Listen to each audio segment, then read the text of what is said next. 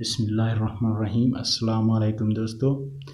आज के हमारे मुहर्रम हराम के हवाले से सीरीज़ वीडियो चल रही है सवालात और जवाबात के हवाले से।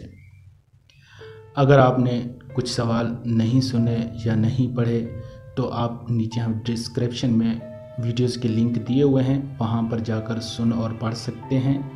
और अगर आप हमारे चैनल पर नए हैं तो हमारे इस चैनल का हिस्सा बने, ताकि आपको इस्लामी इस्लाम के मुतालिक तमाम किस्म की मालूम मिलती रहे और आपको आगाही मिलती रहे।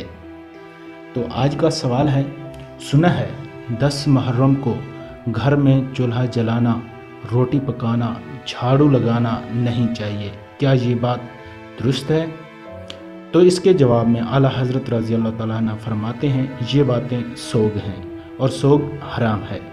तो मालूम हुआ दस मुहर्रम अशूरा के रोज़ घर में चूल्हा जलाकर रोटी, सालन वगैरह पका भी सकते हैं और खा भी सकते हैं। दूसरों को खिला भी सकते हैं घर की सफ़ाई भी कर सकते हैं, झाड़ू पोछा वगैरह भी लगा सकते हैं।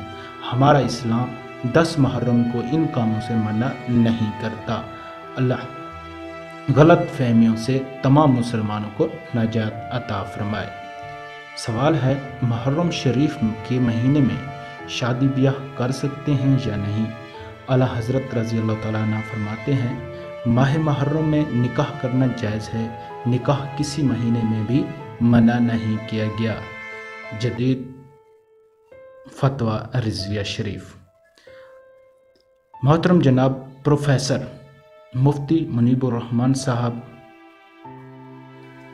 फरमाते हैं मुहर्रम सफ़र या साल के किसी भी महीने में निकाह करना मना नहीं, तफहीम मसाइल।